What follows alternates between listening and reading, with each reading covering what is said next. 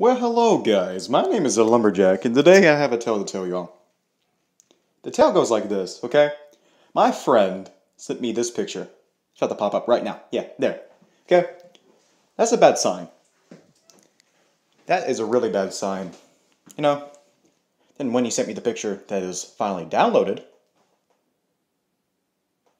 it, I, I didn't know what to think about him. If you don't know who, who I'm talking about, this is my this is my friend here right now. Yeah, here. Yeah, he should know him. You know. Anyway, this guy right here, okay? He bought it. He made a video of it. Okay, he got it for free. One day, you know, just strolling around neighborhood and looked in his vehicle. This is what he looked like. You know, he looked horrible. Also, he sent me this picture. It was also terrible. You know, that's horrible. Don't get it. Bye. Woohoo!